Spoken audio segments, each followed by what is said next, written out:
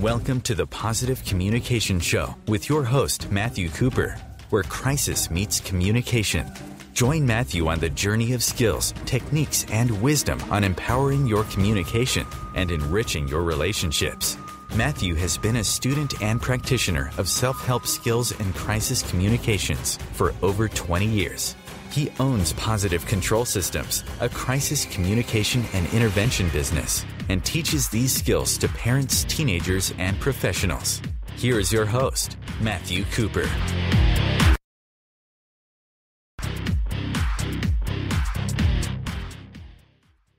Am. Another fantastic day is on the way out, almost done. And yes, this day will be ushered out with listening to me. So it's a good thing. For those of you that are here for the first time, thank you so much for entrusting me with your evening. And those who are returning, awesome. Once again, great to have you. And let's enjoy ourselves this evening as well as we have in the past. Now, for those that don't know who I am, my name is Matthew Cooper, and I am the owner of Positive Control Systems, a crisis intervention and communication business where I work with troubled youth homes, working with the staff and the professionals in that industry to be able to teach them how to better connect with and communicate with their clients. Now, when I say the staff, it's the staff members at these facilities. I also work with instructors, which I certify, which will then go to these facilities. And these facilities oftentimes are working with troubled youth. These troubled youth may have behavioral disorders, may have drug and alcohol rehab that they're going through. They may have they may be high functioning mental health, uh, having some uh, various spectrum disorders or challenges in being able to learn and interact with people. Because everything we do is communication, and all behavior is communication. the challenges faced in that community are plenty and they're also something which taught me how to better work with my children, being able to work with those clients, being able to work with those the staff members that work in these facilities as well as with the therapists, the owners, and the directors at these facilities uh, all across the U.S. has been very, very informative to me, especially being a single dad with five kids. And applying these skills has led me to develop the Ninja Parenting Program, which is teaching parents how to better connect with their children and to better communicate even as a couple. It's it's amazing how once you learn how to communicate better in one area, it spreads to other areas of your life. And the reason why I say, I say it's amazing is because how many of you out there can say, Yes, I am an expert. I am so good at communicating with my spouse and my children and the loved ones in my life. I know that the message that I'm giving them is the message I want them to receive. Not the message they do receive, but the message I want them to receive. So if you say, Wow, honey, you look great in that dress, she doesn't think, oh, oh, he just thinks he's he's just saying that because my butt looks fat in this, or he's just saying that because uh, he screwed up earlier tonight and he's trying to make up and give me get brownie points. No, no. Uh, what's the message that's being received, and and hopefully getting that message through loud and clear, very very crystal clear. Sometimes it doesn't happen that way, and especially when the other person is not interested in listening. Uh, that's a big big challenge. How can we tell if the person's interested? How can we tell if they're interested in listening? Uh, something that some people have asked me and some friends have asked me about lately is about dating. Oh, how do you know if the girl is interested? How can you tell if she really wants to talk to you? Well, it may sound generic, and it may sound canned, if you want to say canned answer. That's I've rehearsed this before. Uh, it's not. This is pretty straightforward. If you use these same skills that you're I'm talking about for the ninja parenting, and you apply them to the dating aspect, I've talked about this in my book, The Ninja Dating Skills, what you wish you would have learned in high school. It is the same kind of stuff. If your significant other wants to talk to you and is interested in talking to you, they're going to use some of those same body language cues or hints that you will find with a person that you're meeting for the first time. Now, this is both for guys and girls, and it'll be a little bit different, especially from which perspective you're seeing it from. Since I'm a guy and I am attracted to women, then I'm going to have a little bit different effect or uh, be affected, I should say, uh, and be um, responding to those cues a little bit different than other people might. And the reason why I find that interesting is because when you have these cues, they are, in some ways, they're universal. Other ways, they're a little bit different, but many times they're universal, especially if you're the one that's feeling attracted to the other person.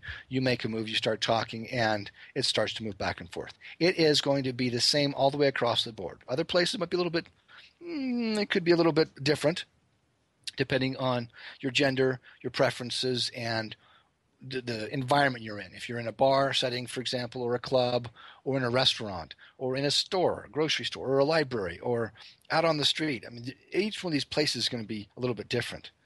Um, another thing based on this same idea, I, I recently was chatting with some friends about the dating issue and the challenges thereof. Still, if I'm correct, statistically speaking, the best way to meet someone is not online. Sorry, sorry, sorry. It's not online. No, it's not. That's not the best way to meet people. The best way to meet someone is to have your friends introduce you. Blind dates. Yep. A friend introduces you to another friend, and boom, you hit it off. Or don't hit it off for whatever reasons. However, that is the best way to be able to connect with and meet someone and start dating them. Why? It's almost as if you have someone that's right there that has pre selected you, pre-filtered out who would match with you and who wouldn't, and they're able to say, "Hey, this person might connect with this other person." And I've found that statistically speaking, that is the easiest way to connect and meet with people. Anyway, going back to some of these these signs that somebody is into you or that signs that somebody is interested in talking to you, especially if you're already in a relationship with them. Okay, one of these, one of the biggest ones that I've noticed is there's a smile a smile, a simple smile, a genuine smile, not the smile of hi, with the the mouth is smiling, but the eyes are saying, back off. I want to eat you if you don't. That's something that's just crazy. That's something you have to worry about. Guys, especially, um, can see this, and they're oftentimes clueless from ladies um, who are smiling because they're trying to be polite. It is not the genuine smile. It's only the mouth smile. The eyes are, are more flat. They don't have that, that brightness to them. The, the smile does not extend up to the eyes. And I'm not saying that ladies are the only ones who do this. Oh, no, no, no. No, sometimes uh, guys often do it. Politicians, if they really work at it, they help that smile to go all up to their eyes. And yet, um, if they're behind more closed doors and don't have to be pandering to the public, you'll find that they use those fake smiles constantly. It's the smile of, hi, I'm being polite, but back off now. Understanding which ones are which takes practice. Look for it. Ask yourself honestly, is this person truly greeting me? Hey, how you doing? Nice to see you. I haven't seen you for a while. Are the rest of their body language, we call them analogs, the nonverbals, are the rest of their analogs matching to the smile? What's their voice sound like? Okay, are they leaning forward? Are they interested? Are they turning towards you? These are all parts of does this person really want me to be here and they really want to talk to me? And I find this interesting because I was looking back uh, when I was thinking about this, what I was going to speak about with the show today, looking back at some past girlfriends of mine and their body language and noticing the smile and how being able to get that smile, get that laugh, get that that open mouth, hey, that was awesome, kind of a response, that's when you know this person's into you. You know that they're at least trying to be interested. If they're just smiling, mm-hmm, yeah, uh-huh, okay. And that's as far as it goes, no matter what you say, no matter how funny you think you're being, nothing gets them to laugh. There's an issue. There's a problem. I know I'm serious, but I like to laugh. I'm serious a lot of the time. And yet I like to laugh and smile in the right situations. If something's genuinely funny, I'm going to laugh. I'm going to smile. And yet, if a person has a hard time doing that, um, and you're in a relationship with them, which I remember one girlfriend I, I had that it was like that, wow, wow, that's something that's definitely a warning sign for me in the future not to get into that kind of a relationship again. Watch also for eye contact. does this person want to really connect with you? Eye contact is a way of being able to say, I'm interested in seeing more of you. I'm interested in watching you. This is a little hint as well. If the person is truly interested in you, doesn't matter male or female, doesn't matter which gender or orientation, if a person is truly interested and is liking you. Now, I'm not saying that they are sexually attracted. I'm simply saying that they are liking you or attracted to you in some way. Asking more questions, getting more information will give you more, uh, more of an idea of how accurate this is. And yet, being able to find these first things, look at their pupil. Their pupil is dilated, and they have they're not on some different substance. Okay, they're just you're talking to them, and your watch as their pupil dilates. That is a sign that they are interested in you. Okay, that is a sign of attraction. Something to think about. Okay? So we have one, the smile, the smile that reaches their eyes. Two is going to be their eye contact. Huge, big, big part of it. Another one that I found is really important is touch. They want to touch you. They reach out and will get your attention by touching your hand or your arm or forearm, maybe your upper arm as well upper arm usually on the outside, the tricep area. Just a touch, a light touch, not a grab, not a squeeze, but just a touch. That kind of a thing for me is a big, big thing that I notice. And this is this is not like I said, it's not if they are attracted to you and they want to date you. I had one situation. A buddy of mine, we were chatting. We were at a bookstore. There was uh, it was a wine tasting going on there, and the lady in charge of the wine booth, she worked at the local winery. Pretty redhead. Oh, she was fun. I just had a blast talking with her. It was great. We were connecting. I noticed that she's reaching over and touching my arm, and we were going back and forth. And then I found out she's married. Dang. She didn't realize that I didn't know that. It wouldn't change, most likely. She was an awesome lady, still is. And yet, recognizing that person can still think that you're awesome and attractive without wanting to date you. It's still possible. So. This is OTRFM, part of the IOM radio network. Being a radio host on IOM FM allows you to build your show on a rich platform with the power of the internet to fulfill your outreach goals and connect with a very specialized and global online audience, unlimited by time and distance. Om Times Radio will provide you with web relevance, a recognizable conscious brand, and with the standard of excellence that has accompanied every single Om Times endeavor. Host your show with Om Times Radio Network. Join Elliot Jolesch, the business therapist, each Tuesday at 5 p.m. Eastern for the Elliot Jolesch Hour as he interviews business experts on your behalf. And you're invited to email your business questions to questions at ecjgroup.com for answers live on air every Tuesday at 5 p.m. Eastern on the Elliot Jolesch Hour. Hi, this is Sylvia Henderson, intuitive life coach and energy healer. Are you ready to elevate and rise way above your normal? Be sure to listen to my show, Intuitive Transformations, on Om Times Radio, Sunday evenings at 9 p.m. Eastern. Get the inspiration you need to transform your life. Have you ever wondered how to change your love paradigm? The secret key is finding a love partnership, not just a regular connection. How do you find these? Through conscious relationships. Ascending Hearts Dating is a dating site for people like you that believes in second chances and a different type of spiritual connection.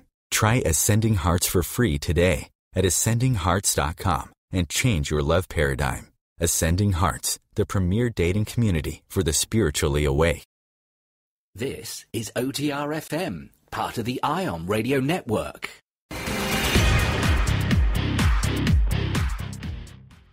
Cooper with the Positive Communication Show on OTR.fm.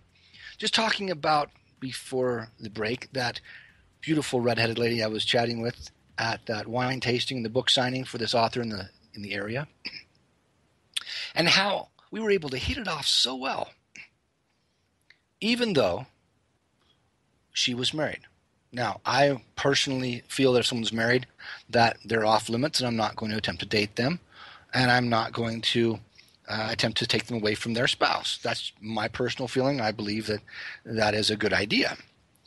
And yet, still being able to recognize, hey, there's this connection. This is awesome. We were able to have this great conversation.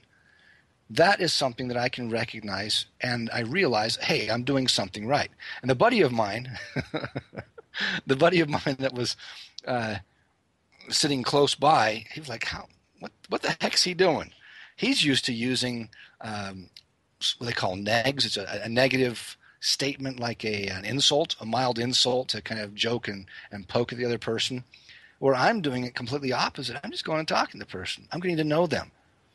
And being able to recognize these different signs is invaluable, absolutely invaluable for connecting with people. Now it's just not with not just with this young lady. I've talked to, to gentlemen in business situations. Are they attracted to me? Well, not unless it's a bromance. I've had that happen a number of times too. Um, I have other gay friends that they're attracted to me. Okay, I can recognize these signs. Just because they're attracted to me doesn't mean that I have to say, oh no, a person is attracted to me. Uh, they like me. I'm doing something right. There's something I'm doing which they are saying, this person is awesome. I want to learn more about them. Now, don't you want your partner to feel the same way about you? I would say yes. if you're with them, there's something about you that they think is attractive. There's something about you they think is worth being in that relationship for.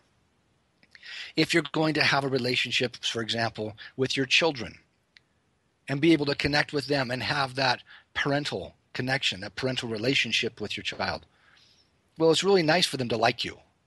If they don't like you, it's kind of hard to be able to have this positive, loving relationship where they're going to be wanting to be around you. I've noticed that with my family, with my siblings, um, very few of them want to come back and visit mom and dad. And the reason I think for that, consistently, having spoken with some of my siblings, is that they don't have that memory of mom and dad being super loving. They, my parents love us. There's no doubt about that. Mom was very busy with having multiple kids. I mean, there were six of us, six of us kids. Dad was mostly gone for business and work. If he was home, he wasn't there. He wasn't available emotionally because he was worn out from work. He wanted to go do things out on the ranch. He wanted to go ride horses. He wanted to go and play on his tractor. Yes, it was playing on his tractor. He he wanted to do farming and, and ranching work as a pastime rather than as a job. It was a hobby for him. Okay. And having his, I don't know, 15 head of horses, whatever it was, on the ranch, great. Awesome. Okay. That was where he was at, and that's how he spent his time.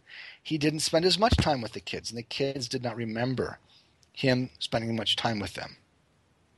It doesn't mean that he didn't spend time with them, it's they didn't remember that. The memories were not as strong of that. And so to this day, getting together as a family is very difficult. My parents will schedule something. Half of us will say, Yeah, we'll be there. The other half are like, Well, well sorry, this time doesn't work for our schedule and that that's that's a big issue. Understand that you, and in this case they, had control and have control over the connections you have in your life. If you want your children to come back and visit you, once they're out of the house, they want to come back home and say, Hi, mom, hi, dad. And it not just being about getting a free meal, which, of course, that's part of it when they're going to college, or being able to have some extra money. Hey, can I can I borrow some money? Yeah, that happens. That it does happen. And yet, if that's the only reason they're coming back home, you might want to look at attempting to work on building those relationships still.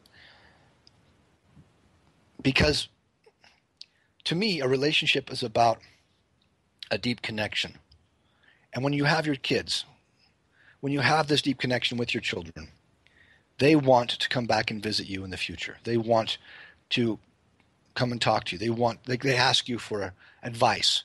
They realize, hey, mom and dad, they do know something, or mom or dad. Since my kids with their mom, she lives down southern Utah, and I live up in northern part of Utah. And since they live with me, it's a challenge for them to always be able to connect with her and to communicate with her she's doing the best she can with what she's doing and her life choices. I'm doing the best that I can with my life choices. We all have these different experiences. I also talk about consequences. Consequences are not good or bad, they're simply a natural result of the choices we've made. We all have consequences. You want to drive drunk? Cops pull you over? Guess what? Consequences.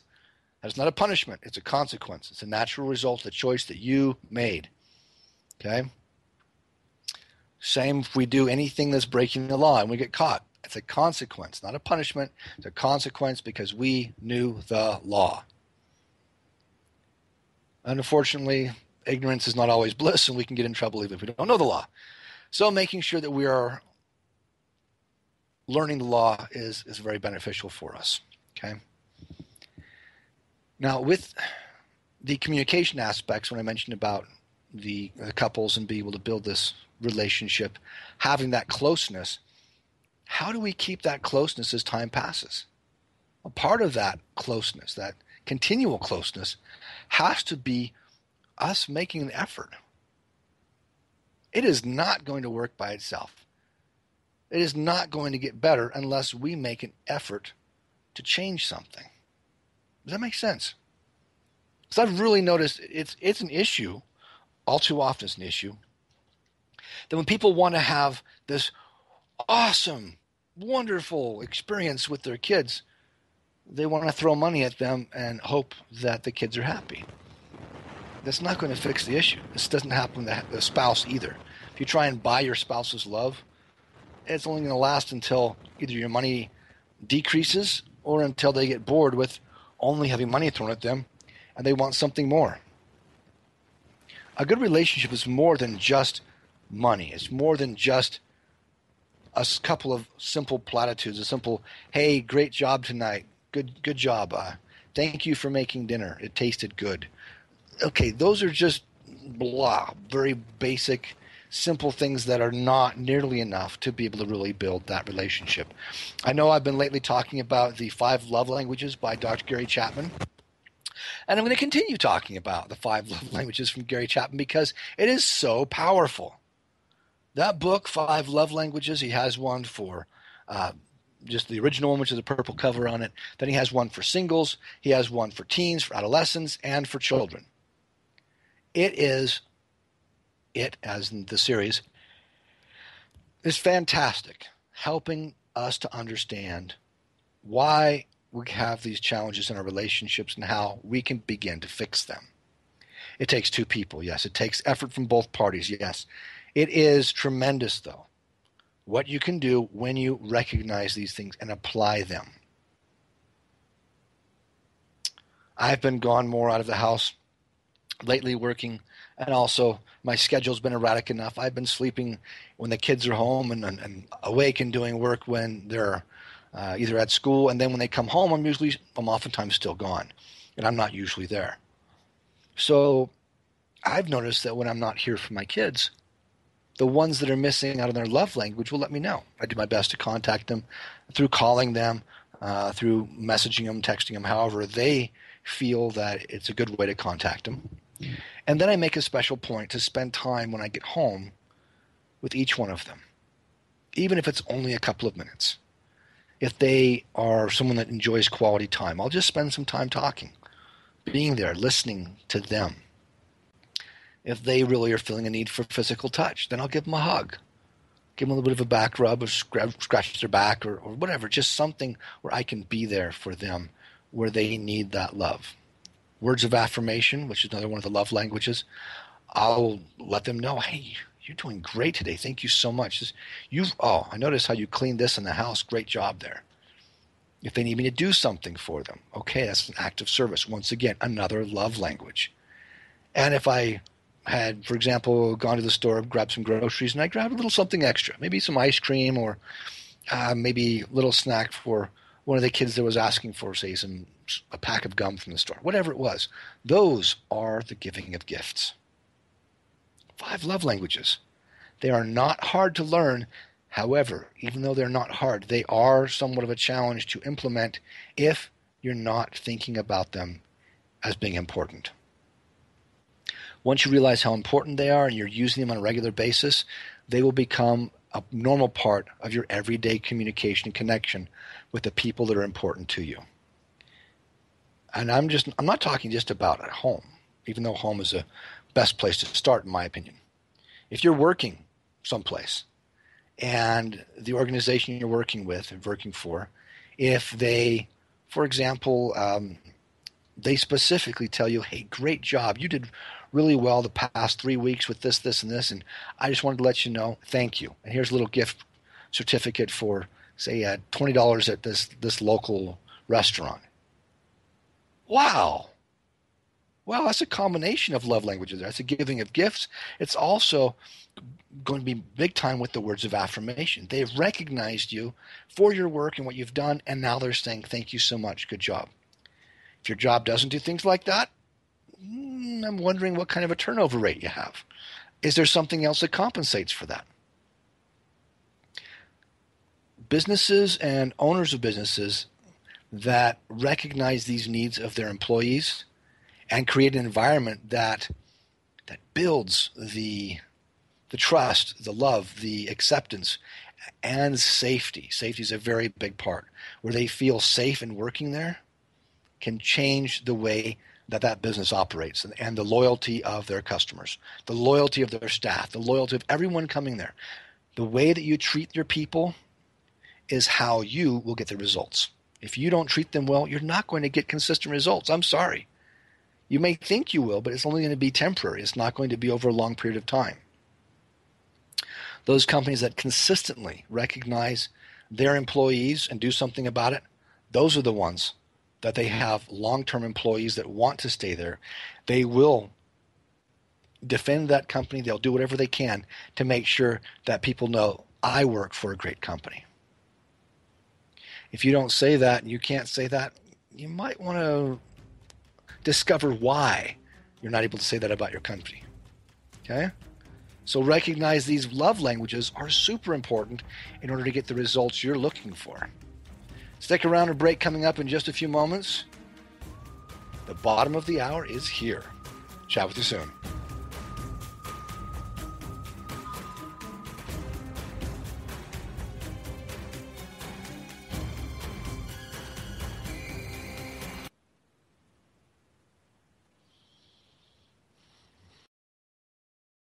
You're listening to OTR FM, part of the IOM radio network.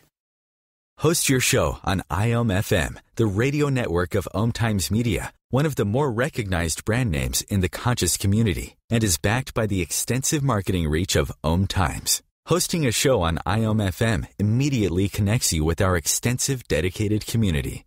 Do you have time to read that inspiring book? Or that blog post you've been meaning to get to?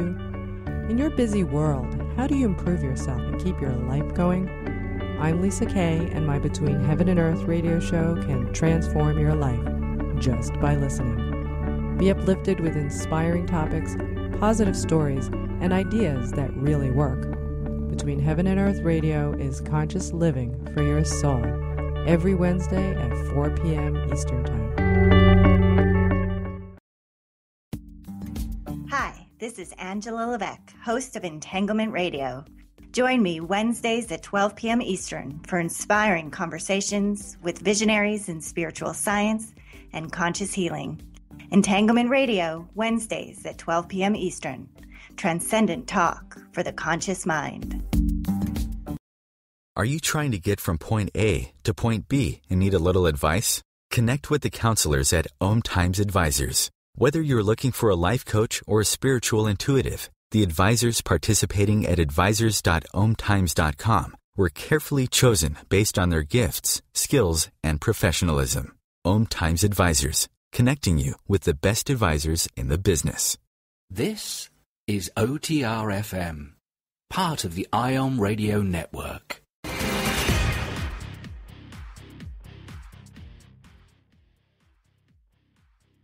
FM. All right. We were talking about the five love languages right before the break and how important they are in being able to connect with people that are important to you in your life. And I highly, highly agree with this. This is something that I use in my daily life. I recognize how important it is and use it with my children. I use it with other individuals that I come in contact with when I have conversations with them. I'm listening constantly for clues on how to best communicate with them. Now, something that, that I was thinking about during the break that I've really noticed has been very influential with me in being able to work with someone, meet someone, and to be able to make a lasting impression. Because we know that the first anywhere from three to five seconds, seconds, that's all, that you meet somebody, it's a huge impact. Okay. They see you, they're making these judgments immediately. And then you open your mouth. Then you have five minutes. It's only 300 seconds, five minutes to be able to essentially wow them, keep their interest, whether or not they're going to be interested in talking to you or not. Now, one thing I've noticed that is so important that I've noticed not a lot of people use. Some do. And those that do really get great results. Those that don't, it makes you kind of look foolish and it makes you look like everybody else. Now, what is that? Remembering a person's name. Yeah, remembering a person's name. Now, how can that be important?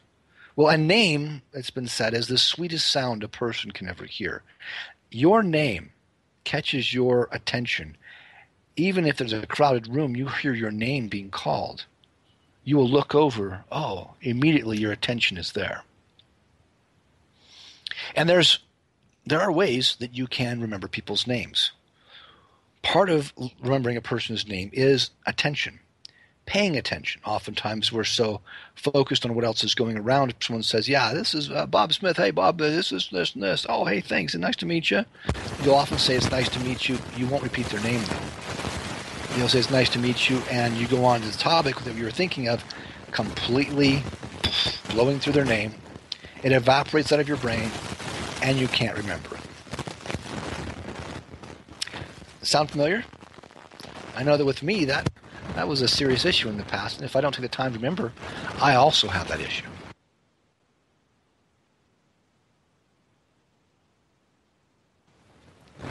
However, even though I've had that issue in the past, I have found that when I take the time to remember a person's name, I will remember that forever. Um, and sometimes it doesn't take very much. There was a gentleman that I was speaking with today and uh, we were chatting with or chatting about some different options and opportunities for some business work that I do, as well as what he does. And there's a possible connection that we could have an overlap, and I could work with him. Oh, great! His name is Ty. I can see it on his business card. I can see his face right now. Nice guy, really nice guy. Worked with Adobe, the company. And um, in in working with him and in chatting with him, we had a nice conversation, and I kept on looking at his card just once or twice. I saw it, and it reminded me, okay, Ty. His name is Ty. When he left, I shook his hand. Hey, Ty, I really appreciate it. Thank you. Once again, I used his name. Just by thinking about their name, saying it just a couple of times during the conversation that in itself will probably increase the, the name retention you have for this person by at least 30 or more percent. Easy. It may even go up to 60, possibly even 80 or 90 percent, just by paying attention to their name. When you meet them for the first time, if you shake their hand, repeat their name. Hey, it's nice to meet you, Ty. It's nice to meet you, Bob, Sue, Erica, Jolene, whatever it is. Shake their hand. Hey, it's nice to meet you, and then say their name. Next, use their name at least once during the conversation, letting them know, I still remember your name. Oftentimes, uh, if I'm doing that, I'll at the very end. Now, it was it was Ty, right? Yeah, it was. Okay, great. I just like to make sure I'm I've got the right name. I'll use that as a way at the very end of making sure I'm letting them know I'm paying attention. Now, if I get it wrong, no, is it? Oh, hey, I really apologize for. Oh, no, no problem you have taken the time to ask and double check and make sure. And that oftentimes can smooth over any issues that may have come up because you are still trying to remember their name, giving them that respect. Remembering their name is even more respect. Now, there are a variety of different techniques you can use for memorizing a person's name. I have found one that works very well for me. This is a technique that Harry Lorayne in a number of his memory books talks about. Harry Lorayne's been doing memory books and courses for, I don't know, 40, 50 years. I'm honestly not even sure if he's still around. However, he, these books are, and his his work lives on, even if he may not be with us in the flesh. The the books talk about, and what he talks about is how we are very visual people. And if you can imagine visually something and associate it with something else, you have a better chance of memorizing and remembering what that association is. I use the same method for memorizing grocery lists. Uh, he used what's called a peg system. So if you have uh, certain parts of your body, I use a toe, the knee, the muscle, um, your rear, your love handles, your shoulders, your collarbone. These are all based on the sounds because you're looking at the consonant sounds for each one of those that he's using for these peg systems and then eventually numbers and then you're able to memorize numbers of, of objects and articles very quickly and these are some of the skills and tools that are used even by world-class memory experts there has to be a system, a method, and this is one. And I work very well with systems and methods. If you just give me something that says, "Hey, uh, do it this way," I, okay, I can do it that way. However, if I really want to understand it, I have to have a method. I have to have some sort of a system for memorizing it and then replicating it and duplicating it. And if I don't have one, I'll create one just because I need that structure for my brain to work. So, with memorizing a person's name, what Harry Lorayne talks about is find a notable feature on them. Is it their nose, their forehead? Uh, are they going bald? Do they have lots of hair? Do they have a big bushy beard? Do they have big lips, thin lips? Is it a small nose? Are they missing part of their earlobe? Uh, do they have cauliflower ears like a fighter or a, uh, a wrestler might? All of these are all tied together. What is that notable feature? Once you see that notable feature, okay, cool. Then you need to have some way of associating it. There was a gentleman that I met. His name is Ryan Moody. Well, how do I know his name? I can see his face right now in my head. Well, I notice he always liked to wear colorful ties, especially around the different um, holidays. I remember his Christmas tie. It was bright colors and it had these Christmas ornaments. I'm like, okay, that's when I first met him. He likes to set a happy mood and his tie is like a mood ring. It has all these bright, happy colors. Okay, mood or moody. It gives you something to remember him by. Okay. Plus, his first name was Ryan. How do I remember him? Ryan. Well, okay, Ryan. I remember the movie Saving Private Ryan. And so I see the insignia in the military in the army private, which is like an upside down, stretched out V. And I saw that pinned to his tie. Oh, Ryan, because I now have that private Ryan in my mind, and then Moody, because his tie is just setting the mood where it's always so bright and shiny and happy. Cool, right there, I can see it. The dark-haired guy, nice smile on his face, clean shaven. Ryan Moody. Okay, another guy. Or Ryan, excuse me, Ryan Moody. There's also this guy, Brian, Brain, uh, Brian uh, Sanders. So how can, how can I remember Brian? Well, Brain and Brian are I remember in, in school many years ago, there was a guy named Brian, and he accidentally was spelled on the board brain. Like, oh yeah, it's only the transposition of two little letters. Okay, no deal. Cool, brain and Brian.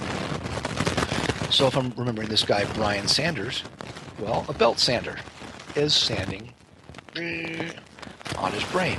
Now, it's not colorful and not gory or anything. It's just an action, and it's something that I can see in my head oh, that's how I can associate to him.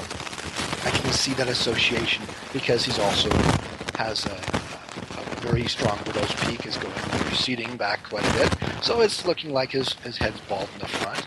It's like it's a brain coming right there, and you have the sander. This may sound strange, and yet, I think it was the Franciscan monks, hundreds of years ago, they focused on learning and memorizing articles and things for their religion, for their church. And they found that different thoughts, different um, actions, especially if they're of a sexual or a violent nature, are very, very memorable. And our mind tends to remember those kinds of actions, which is why the Sander and also why brain, it fits well with this guy, Brian Sanders. Another gentleman, Mike. Mike Pickett's his name. He's a big guy. He, I think he's in the FBI. Blonde hair, clean shaven. Well, I see a white picket fence like a crown around his head. And a mic? Oh, that's right to his forehead. He has a nice big forehead, actually shiny. It's a microphone for karaoke. Mike Pickett. Pictures. Pictures that you can associate with. I enjoy doing karaoke. I've got friends I do karaoke with every, I don't know, once or twice a month. By having that association, I can see it in my head and I can now associate it on that person. I can imagine it on their forehead. Or this one friend, um, her name is Whitney, and I've known her for like eight years or so. I don't associate her with pictures, and yet I can remember, oh, okay, she does chemistry, and she does this, she does that, all these different things. Why? When I've known her and I've talked to her and my memory is good, I can also, on her earrings, I can see where I've connected and hooked different things that she likes, so I can memorize different parts about her. All I have to say is, okay, on her, oh yeah, earrings, boom, and I can now see in my mind. It doesn't have to be in real life. In my mind, I am associating pictures to her. They call this linking, like a chain link. You link one thing to the next to the next. They're all tied together. When you can link people, link things this way, you can memorize large chains of information. Great way for memorizing a story. If you want to memorize a story or a speech you're going to give, you can chain one part to the next, having the visual cues.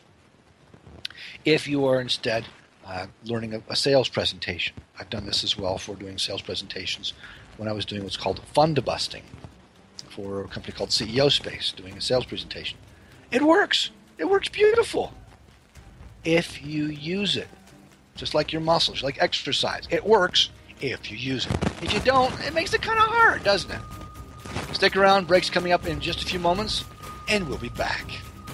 Stick around.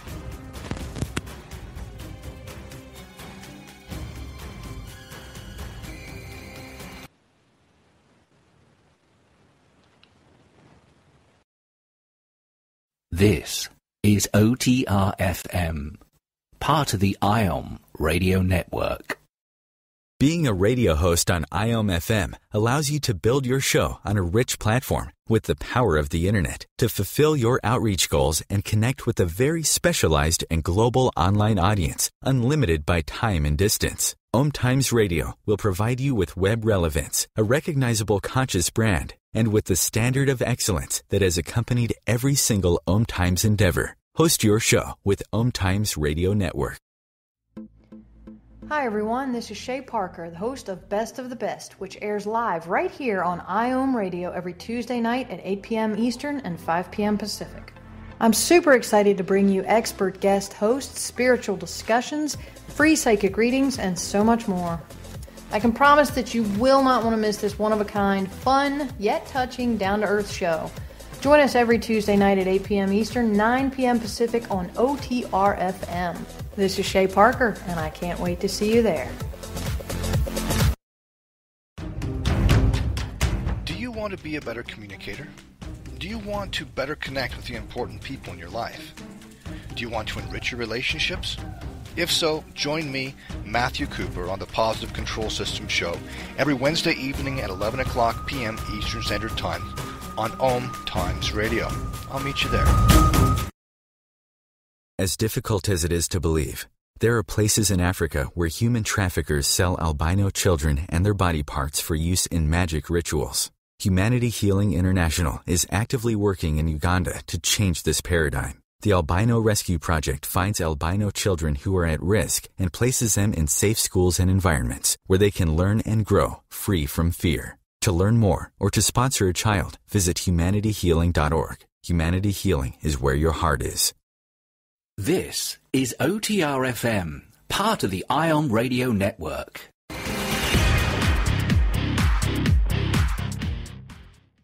Matthew Cooper with the Positive Communication Show on OTR.fm.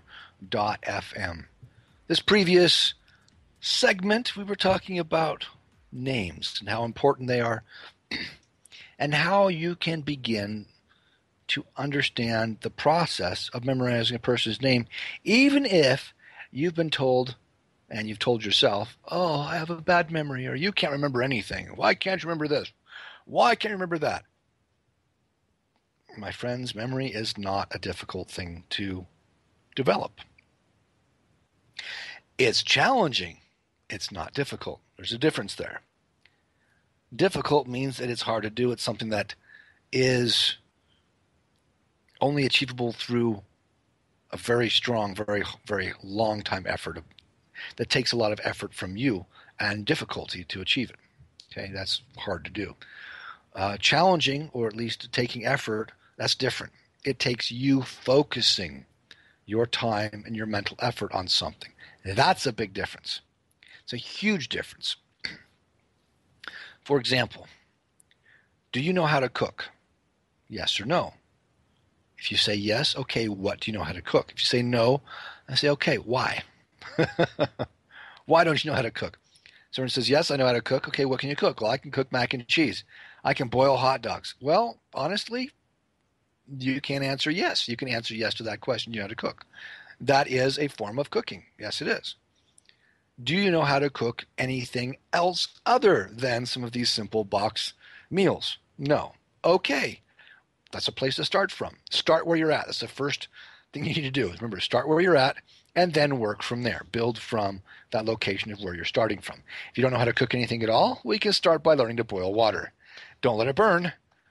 Um, learning to cook pasta. I was talking to my kids about this, um, learning skills and, and memorizing, learning things like this. And they were mentioning that one of their friends actually burns pasta. I said, How do you burn pasta? He says, Well, first of all, he doesn't put enough water in to the pan when he's cooking the pasta. And then he's usually busy doing something else and it scorches and then it burns. And that's how he burns pasta. And uh, I had to shake my head and yet I understand. I had uh, a young lady friend, a girlfriend that lived with me for a while a number of years ago.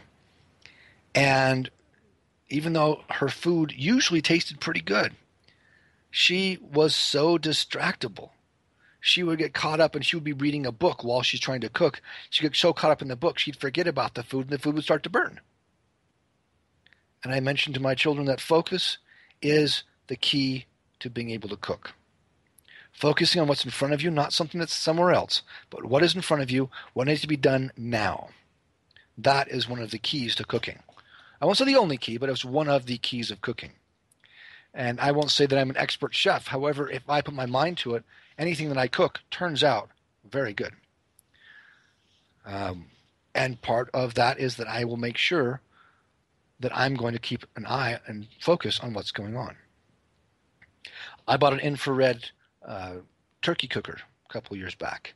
Rather than getting a, a, turkey fryer, excuse me, rather than an oil fryer, which is a, a fire issue, fire hazard, this infrared one it's not a fire hazard at all, and it is awesome. Absolutely awesome. It is the best investment for cooking turkeys I've ever made. And as long as I pay attention to it, I keep looking at it, keep checking back. The turkey, every time I've used it, is flawless. Nice and crispy on the outside, juicy, juicy, juicy on the inside, and it's it's really not very hard as long as you stay focused. Now, with Christmas and Thanksgiving dinners, there's a lot of things to juggle and focus on. Yes, take it piece by piece, step by step. If you time everything out, it'll all come together if you are focusing on it. If you are there rather than trying to be some when else, doing something else the brain has incredible abilities if you will allow it to focus on the specific things in front of it, not multitasking. No, no, multitasking is actually a misnomer. You do not want to multitask because then nothing gets done properly. You can switch tasks, yes, however, that's not the same as multitasking. Switching task to task to task. Each one you're doing one thing right now. Switch the next one, one thing right now. You may switch it five or ten times in five minutes, and yet you're still working on one thing at a time. Rather than, for example, trying to talk on the phone and cook and also clean dishes at the same time. It is going to cause problems and other areas are going to suffer. So by being able to learn the timing, learn what has to go in first. For example, if you're working on cooking potatoes, all right, cut the potatoes, clean them, boil them, or if you want to, scrub them and peel them, whatever you're planning for the potatoes, great. Put those on. Now you can work on something else. If you're having multiple people helping, great. It's the timing. Now, why am I mentioning this? Because this is also how a relationship works. You can't expect to do three or four or five things at once in a relationship and have them all work when you're not focusing on any one specific aspect at any given time. You have to give it time. You have to be able to be focused in the moment. If you're memorizing a person's name, do not try and memorize their shoes at the same time because then you memorize their shoes rather than who they are in their name. If you want to associate it with their shoes, are you used to looking at their shoes? Usually not. So I like to use the face, the head, as my focus. That way I'm looking at their face or their head as I am thinking of their name. Now I see their head rather than their shoes for their name. Now, if, if it works great for you for their shoes, fantastic, awesome, perfect. I would oftentimes just add those as a tag, add them as a uh, the link I talked about, like a chain link. I'll link on they have great shoes. This is the brand. Um, they are very neat. They they have a uh, color coordination, whatever it is. You can add these different things to them if you have learned each step. The, there's a gentleman by the name of Timothy Ferriss. I've been following this guy for years. I love him. Pro, bromance going on here. Absolute bromance. He is the author of the uh, New York Times bestseller, The Four Hour Work Week, also The Four Hour Body, which was a New York Times bestseller, and then also he had it independently published. The most recent one, which was a four hour chef. Four hour chef is fantastic. Okay. Timothy Ferriss. With the four hour chef, he goes into cooking and mastering the simple basic skills first. Cooking in memory. He's also done things for learning languages. Also, breaking it down those simple things. Is there a pattern going on here? Yes. Learning to swim. He was uh, afraid of swimming for so many years. He didn't swim. He learned from, I think it was called um, Total Immersion Swimming. Uh, the information's on Amazon. You can go to Amazon and look it up. You can also look at TED Talks. Timothy Ferriss does some TED Talks too. They're awesome. He talks about his swimming and how he was so afraid of it, and then he decided, you know what? I've gotten this bet with a buddy. Uh, if I can learn to swim, my friend will give up drinking for I think it was a, a year or something like that. really? Yeah, I'll, I'll do it. You do this? I'll do it. Okay, because he'd been afraid of it for so many years. He decided he would take that challenge seriously, and he went through with it. And voila, he was able to, at the end of the time period, he went on a two mile swim. Two mile swim, perpendicular, or per, sorry, pardon me, parallel to the shore, about what 100, 200 yards out from um, from the shore in the ocean, and he felt awesome. Two miles. Holy cow. Because of this method, where before I think he said he swam like a drowning cat. It wasn't a pretty thing. And yet he had to break it down to figure out what he needed to do. Same thing goes with learning a language. He also deconstructs, is what he calls it. He deconstructs them and figures out how to make them work. He's done this for playing the uh, playing the drums. I think he played with Journey. He played one song uh, just to be able to show, okay, I can learn this in one week. One week? Yes. He has a number of shows you can get on uh, Apple. I think the Apple uh, iStore, iTunes Store. You can pick up a number of his episodes of of him learning these different things, everything from parkour to, I think it's called. Um, it's not kyudo. Kyudo is the Japanese art of archery. He was doing horseback archery, and that's a completely different creature right there. And he was learning to do that within just a short period of time. So Timothy Ferriss. I love the guy because he's a man after my own heart. And he has these different ways of having a system, breaking it down so it works for him, and then applying it. I do it with communication. I do it with the, the martial practices I use. I do it with uh, my cooking, all these different other areas. And he has as well, and he's done very well for himself financially because of it. Okay. These are things that you can also use for your communication. What are you doing that works? What are you doing that doesn't work? Do you know what's working and do you know what's not working? If you don't, this is something to really think about first. First and foremost, you can't deconstruct it if you don't know. In the past, when I had conversations with people, I would monopolize, I would dominate the conversation because I would talk so dang much. And that's something I've really had to work on over the years. Do I still like to talk? Absolutely. I have my own show. What do you think? Come on. And yet, even though I do like to talk so much, if I don't give the other person a chance to talk, do they feel like they're being welcome? Do they feel like I am giving them a chance? Do they feel important enough for me to talk to them or for them to talk to me? If I don't entrust them with part of that time, asking them questions, learning about them, it makes me look like I'm egotistical and I'm not interested in them. I'm only interested in hearing about me. Does that make sense? These are things pointed out to me from friends in a nice way for the most part. and I was open enough and hopefully humble enough to say, okay, you're right. I do talk too much sometimes. For those that can recognize that and change their life based on that, the feedback from others, and don't get their feelings hurt, it can be a lifesaver. Because if you're not going to be the example in what you should do, who is going to be? We must become the change we want to see in the world. That's what I have to share with you from Mahatma Gandhi. Come back next week, listen in. I'll be here.